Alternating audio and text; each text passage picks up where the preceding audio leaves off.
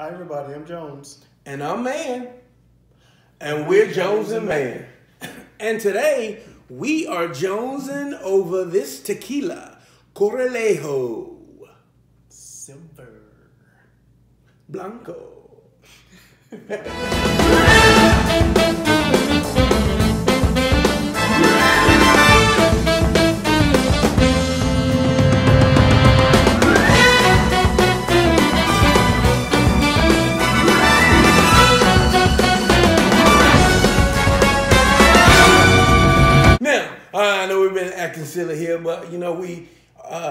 started our venture into tequila a couple episodes back, and we said we are going to try a couple of new different things in tequila.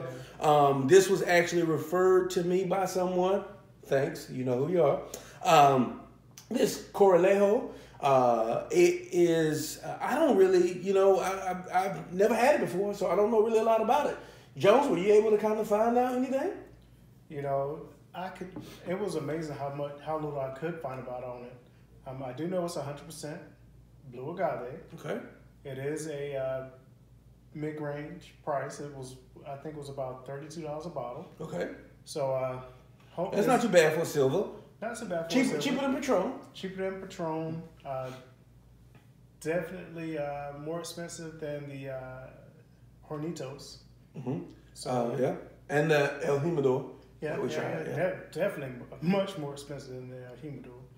Um, so I'm I'm kind of curious about how it tastes, but um, it, it, one thing I did notice that it is from it, it's not from um, Jalisco. J- yeah, yeah, that's Jalisco. yeah, Jalisco, Yeah. The, the the typical or the normal place where you get a lot of your tequilas from. So I'm I'm really excited about just trying to see how it tastes because it, you can find so little about it. Well, you know, the big thing about tequila is it's not for reading and learning, it's for drinking.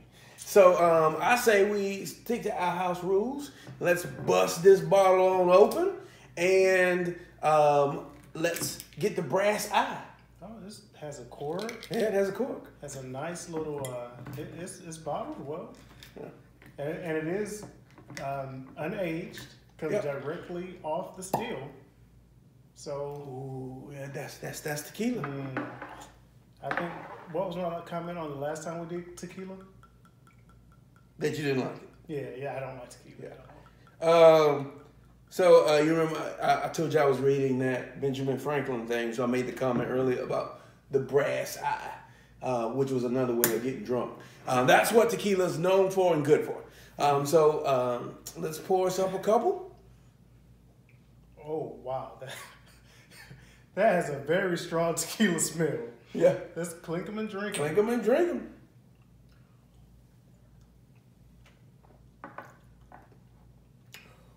Ooh, Let's go ahead and uh, put this on some ice and see if we can get some of that. Um, Woo. see if we can um, get some some flavors out of them. Um, and, and, and try to review this. Yeah, yeah, yeah, yeah. Um, whew, I think it's, it's definitely different than I expected. What was the Ben Franklin one? The, the brass eye. Get the brass eye. We're gonna, well, this is Um. this will definitely give you the brass eye. it might give you a black eye. We got a little. On, Switch that around a little bit. Yeah, uh, well, you, like I said, I've said before, tequila is always something that is it's a it's a very distinctive taste and flavor that comes with tequila.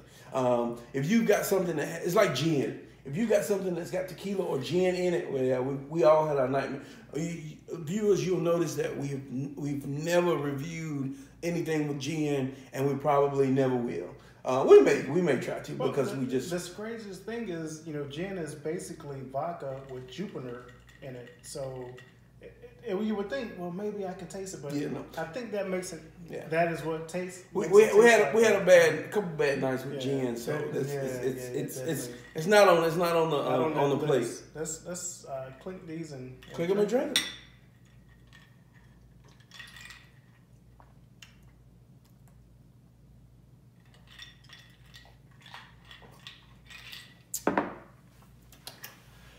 Uh, whew.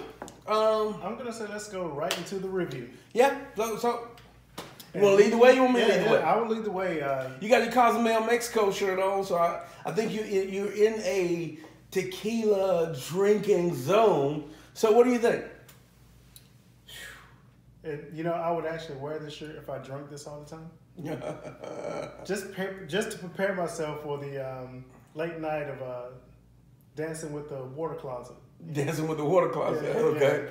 Oh yeah. You uh, play, uh, praying to the porcelain god. Yeah, Okay, yeah, I yeah, yeah, yeah, yeah. Um, this is uh, the the shot was absolutely horrible Okay. for me. I'm not a tequila person. Um, I do understand that tequila is supposed to be um, one of the healthiest alcohols to drink, True. but Because of the agave. because of the agave, um, that shot was absolutely horrible to me.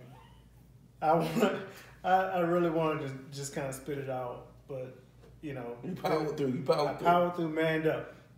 Um, so far as when you put it on the rocks, it does. Um, when you, you put it on the rocks, you do get to taste more of the flavor, and it brings it back, and it makes it um, slightly more palatable. But um, for me, I actually, believe it or not, like the uh, Jimador a lot more than this. Yeah.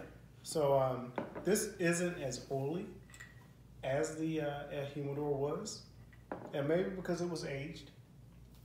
But uh, yeah, um, Yeah. this this one is is definitely a flop. I would not. Um, I, I cannot see myself paying thirty dollars or thirty plus dollars um, for this tequila again. If, if I'm going to pay that much, I would just go ahead and spend the extra money for the um, Patron. Uh, you know, um, I think I would probably say for me it's going to be a flop too, and here's why. Um, for a blanco, which is supposed to be, you know, traditionally it's the lighter, less flavorful. Um, when you compare compare a blanco to a añejo or silver to an añejo and reposado, um, it is, but it's extremely flavorful. It's strong. Um, it it all it it, it kind of almost tastes, excuse me, aged a little bit. Not that you get the barrel, that you get the barrel, but that you have so so much full flavor in it. Um, I don't I don't particularly enjoy the flavor that's in Yeah, it, but there it, it's it's strong, it's bold, it's um, It's a very bold tequila taste. Um, it's not very rich or floral. I mean, I, you know, I kind of get like a, a, a floral, earthy kind of. When you put it on On the rocks. on, on the rocks, Yeah, yeah. and let it sit. As, now, as it sits, it does get to begin to taste better, and you get to get more of the uh, flavors and aroma from it. But as as that neat shot, oh my god! Yeah. If if you if you this is I always mess with people all the time and say, hey, you you you pay for Patron, um, but you probably couldn't tell Patron from any other tequila. You could definitely pick So, Patron yeah. from this. Um, because it is the Blanco is so strong Yeah. and it's so flavorful. Probably most people couldn't pick a Patron from an eighteen hundred. Um, Wow. Maybe, but I mean, you know, we drink a lot, and if, if you drink it a lot, then maybe. But I would, I would, I would, I'd go to any bar, and on the average person, I'd wager that you probably couldn't pick the two between each other. Um, and Patron is is so the blanc, the the silver is so light. Um, definitely, this is uh, bold and just in your face kind of flavor. And for a tequila standpoint, which I like tequila, but uh, I would Mm, I don't. I don't know. I just. I, I don't. It's not my favorite. Um, I, I, definitely, for me, um, it's a flop. I just.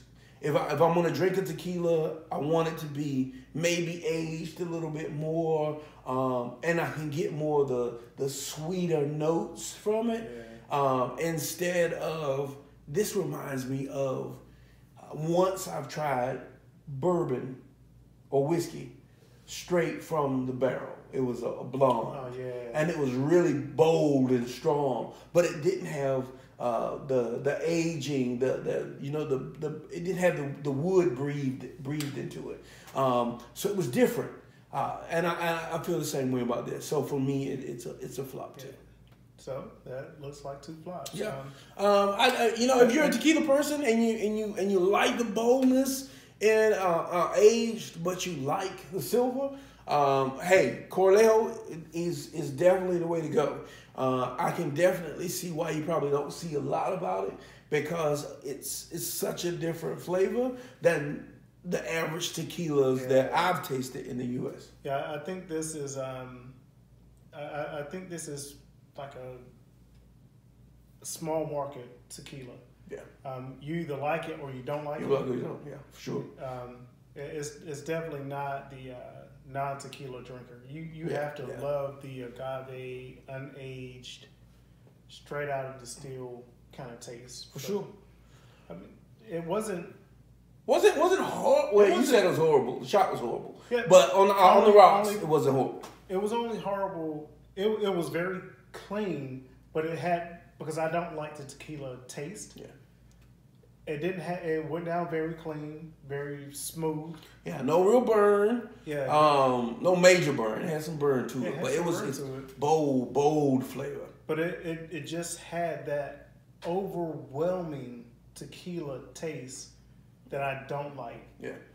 So if you, like I said, if you love tequila, you love that flavor that comes with tequila, but you maybe you like silvers more, give give Corralejo a try. Um, but if you like tequila more on the Patron side, which is a lighter, fluffier, I don't I don't think that this is going to be is not going to be. it's not one for you. Yeah. So, Well, there you have it, folks. Um, this has been another episode of Jones and Mann. Uh, Corralejo looks like sorry, but it's gonna be a flop from Jones and Mann. Um, but we'll keep trying. See you guys next time. Be sure to like, subscribe. Um, be sure to click that ding, that yeah, bell, Click that bell for so us you can get uh, episodes, new episodes every Friday. And we'll see you next time. on Jones and Mann.